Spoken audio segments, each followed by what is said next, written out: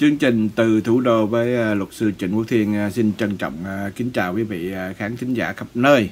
Thì hôm nay chúng ta nói tới một một nhân vật khá đặc biệt xin thưa với quý vị là một học trò xuất sắc của Chủ tịch Hồ Chí Minh. Ông chính là Bộ trưởng Bộ Quốc phòng Lê Đức Anh và là Chủ tịch nước thứ tư của nước Cộng hòa xã hội chủ nghĩa Việt Nam nhiệm kỳ năm 1992 tới năm 1997 thì ông từng là một tướng lãnh của quân đội nhân dân Việt Nam với quân hàm đại tướng và từng giữ chức tổng tham mưu trưởng quân đội nhân dân Việt Nam, bộ trưởng bộ quốc phòng Việt Nam. Thì ngày à, 1 tháng 12 năm 1920 là ngày sinh của ông Lê Đức Nam và được biết là tại Việt Nam đã có những cái cuộc uh, viếng bởi Thủ tướng Chính phủ Việt Nam là ông Nguyễn Xuân Phúc cùng các tướng lãnh cao cấp khác trong quân đội nhân dân Việt Nam. Thì được biết ờ, ông Lê Đức Anh là một nhân vật ờ, rất đặc biệt thưa quý vị.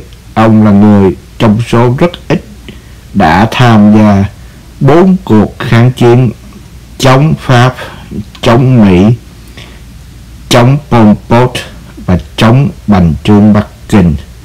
Nói chung ông được thụ phong năm 1958 với cấp hàm đại tá trung tướng năm 1974, thượng tướng năm 1980 và đại tướng năm 1984.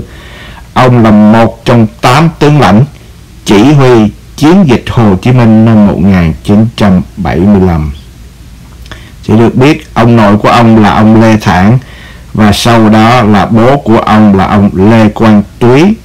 Và ông Lê Quang Túy có một người em ruột, em gái tên là Lê Thị Kiểu. Có một cái lịch rất đặc biệt, thưa quý vị. Thì gia đình của ông ờ, Lê Đức Anh là nguyên quán, là tại làng Trùi, Huế. Và hiện nay là vẫn còn có nhà từ đường tại làng Trùi và là một cái nhà sách cho thiếu nhi. Hiện nay nhà sách này có trên 3.000 đầu sách cho các em à, thiếu nhi, thiếu niên tới để mà tham khảo, làm gốc học tập, thưa quý vị. Thì à, đó là tiểu sử của ông à, Lê Đức Anh. Và chúng ta cũng biết là ông đã mất đi ngày 22 tháng 4 năm 2019 thì ờ, chương trình từ thủ đô đến nay tạm chấm dứt. Xin trân trọng cảm ơn quý vị và xin hẹn quý vị trong chương trình kỳ tới.